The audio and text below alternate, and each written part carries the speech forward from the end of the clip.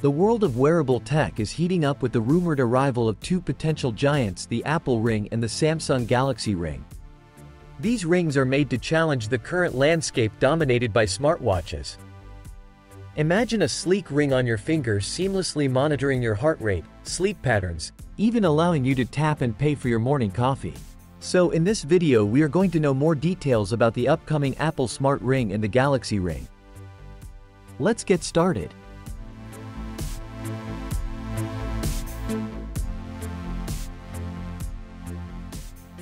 Currently, neither Apple nor Samsung has officially announced these smart rings, but leaks and reports suggest that both companies are in the development phase. Expected features include health tracking functionalities such as heart rate monitoring, sleep tracking, and possibly blood oxygen monitoring for the Apple Ring, while the Galaxy Ring may feature electrocardiogram functionality.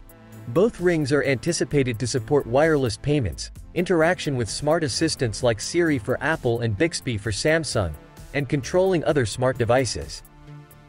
Release dates are uncertain, with reports indicating a potential late 2024 launch for the Galaxy Ring and no clear timeline for the Apple Ring. Pricing details are unavailable, but it's expected that both rings will be competitively priced within the existing smartwatch range, likely around 200 to $300. Potential advantages for the Apple Ring include seamless integration with Apple's health ecosystem and potentially longer battery life due to Apple's efficient chip technology. On the other hand, the Samsung Galaxy Ring might benefit from being an early mover in the market and is rumored to include blood flow monitoring, a feature which is not heard for the Apple Ring.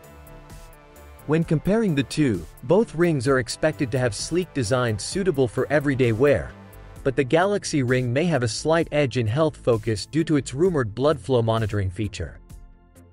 While payment details for the rumored Apple Ring and Samsung Galaxy Ring are still unknown, the rings may allow contactless payments like they have on their smartwatches. If these rings have NFC technology, you could likely use the existing Apple Pay or Samsung Pay apps on your smartphone to make payments through the ring. Current smart rings like Oura only track health and cannot make payments. However, if Apple and Samsung add NFC to their upcoming rings, you may be able to make contactless payments from your phone's wallet app but on the ring instead of your phone or watch. The exact payment process, security measures, and any extra features could differ between Apple and Samsung's implementations. Considerations also include the ecosystem each ring would operate in. Samsung may need to expand its user base and app ecosystem, while Apple consumers may benefit from its current Apple products and health data. Pricing is expected to be similar, making individual preference towards brand ecosystems and functionalities a deciding factor for consumers.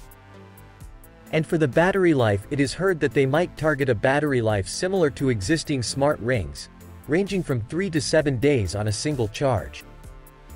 In conclusion, while a definitive judgment on which ring will be better is impossible without official information, both Apple and Samsung are known for innovation in their products. For Apple users, the Apple Ring promises integration with existing devices and health data, while the Galaxy Ring may provide an earlier entry point into smart ring technology for Android users. The debate surrounding this cutting-edge technology is further expanded by considering the effects of smart rings on the wearable technology market, current players like Oura Ring, and possible disadvantages including battery life and data security issues. However, these are speculations based on rumors, and a conclusive comparison cannot be made until the official release and reviews are available. So that all for today. Thanks for watching. Let know in the comment which one you gonna purchase if they get released.